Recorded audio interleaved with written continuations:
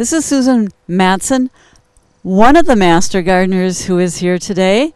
Bonnie Swenson is another master gardener, and we're here this afternoon at the Damhoff Farm south of Willmar.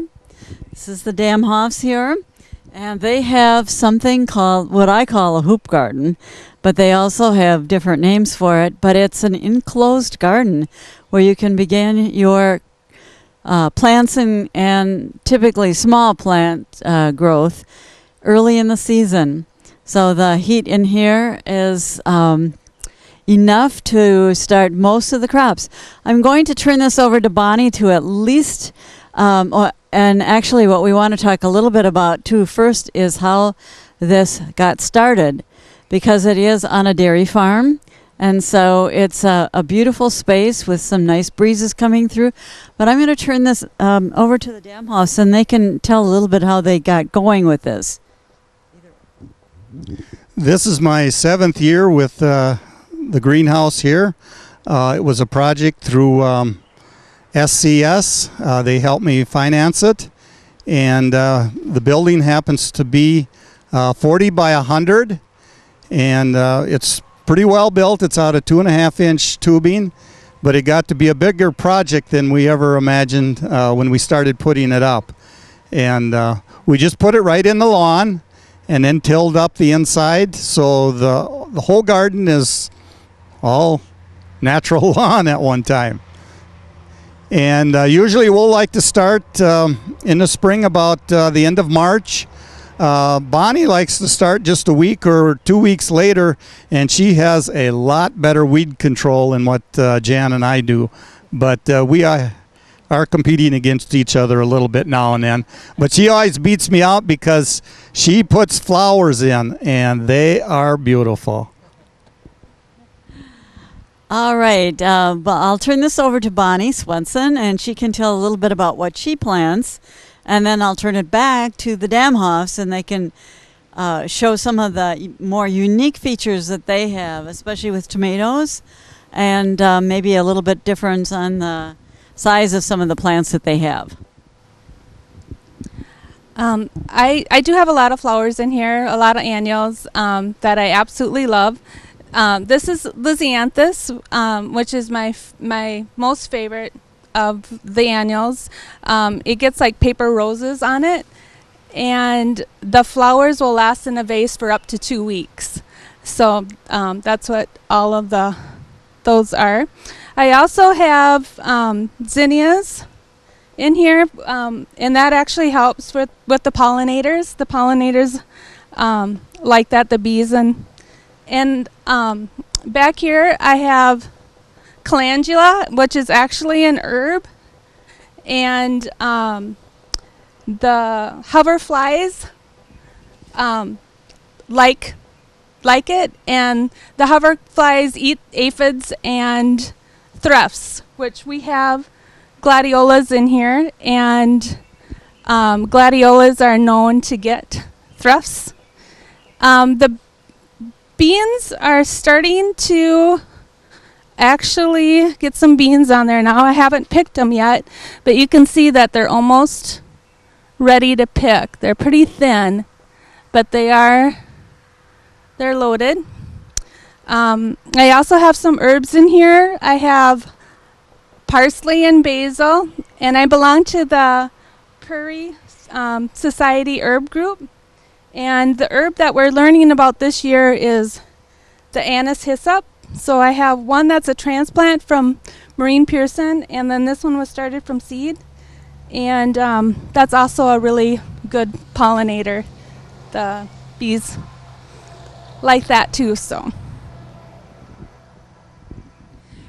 Bonnie sells her plants and herbs at the er, and her fruits and vegetables at the master er, at the um, the farmers market both on Wednesday afternoons and to be coming on Saturday af- or Saturday mornings at the Y. And so um, maybe Bonnie, you could tell a little bit about the kinds of things that you bring to the market. Um, I usually just bring stuff that I have left over. I um, I usually can a lot of it, so a lot of it is Um, I make a corn salsa and um, some different some different things that I can. Um, I'll be canning some pickled green beans this year, and um, some pickled beets, and um, yeah. So, and if there's anything that's left over that we don't eat or use, then then I'll bring it. But like the Lisianthus, I I like to put those in. I do the tables at our church, and I like to put those out for that. So. In the background, just to point this out, uh, we have some raspberry and strawberry plants, but they're be- actually behind our cameraman, Rudy. There's also grapevines and a couple of cherry trees. So um, those are pretty unique. The cherry trees are dwarf plants, and the grapevines, um, there's enough, I'm sure, so that there can be a harvest on those. But all of those uh, can be put in a large hoop garden like this. And so, um, and again, in the background, you can see some gladiolas. But um, the thing that's quite unique over um, on my side to the right, uh, we have some large potatoes, which are getting uh, probably, at this point, the plants are large, the potatoes are small. And um, the Damhoff family has built some particularly interesting supports for their tomatoes. Want to talk and tell about it, maybe?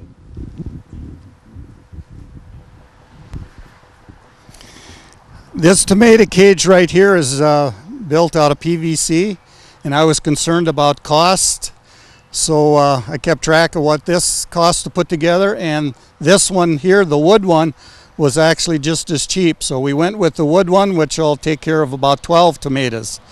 And I uh, just drop strings down, and I use pipe cleaners or something that resembles pipe cleaners to uh, tie the tomatoes up as they grow.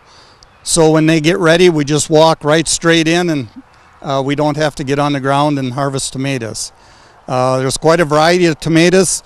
This one right here is a heirloom uh, Brandywine red.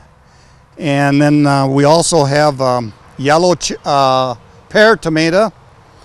And then this will be um, a little red cherry tomato. And uh, we like to just eat them just the way they are. Come right out, pick one, and uh, they're very juicy and tasty. Or we can make uh, tomato juice or salsa, uh, and if we have extra, then Bonnie can help us out, or we uh, uh, sell them or give them to our neighbors. Uh, I think you noticed the potatoes. One thing that stands out to me is the deep, rich green color, and pretty good sized leaves on some of them. Then a few of the other things we have um, are beets, table beets, and uh, she'll pickle them, can them, freeze them, eat them fresh, uh, and some people even eat the leaves. Um, but uh, they are suffering a little bit from the heat. And the same way with the strawberries this year, um, it got uh, over 110 degrees, and the strawberries that I have in now don't take the heat very well, so we're hurting there. But uh, there's cabbage, there's uh, broccoli, kohlrabi, spinach, Swiss chard, onions, carrots, and we have the full-size carrots. The kids like to come out and uh, clean them off and eat them right away. And then uh, beans, green beans, and uh, they're very good fresh. And uh, Bonnie's been known to, after she harvests the beets, put in another batch of beets. So she's harvested up to three different uh, batches of beets in a year, and you can do that with lettuces and different things. But um, being a dairy farmer, I get tired, and when fall comes, I just shut the doors and don't look at it. But Bonnie has been known to keep things going and uh, does a super job.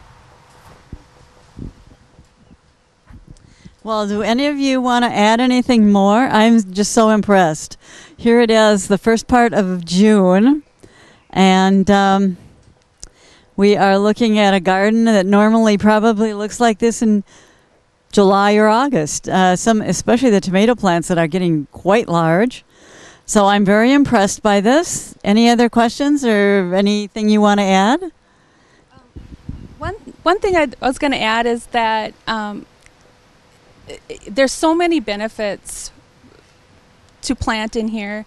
Um, we have control of the water um, with the soaker hoses, and so we can control how much water the plants are getting, and especially for the tomatoes, and be, being the tomatoes are up um, and not laying on the ground, we have very little um, diseases on the tomatoes. Um, another thing is is that it did get hot in here when the weather got so hot, and my beets they bolted. They went right to seed, so I didn't get any beets. But I trans I um, planted right away, pulled them up, and I planted um, some dill and some um, kohlrabi in that row, and they're already up. So It's very amazing. So you can see what now you have to work with as gardeners. Um, I can see what I have to work with with my tomatoes, but uh, we um, join together here before we say goodbye for the day. Uh, the Damhoff Farm is uh, south of Willmar. It's about a mile south of the Savea School. There's a sign on the outside on the highway that says Shrimp Farm.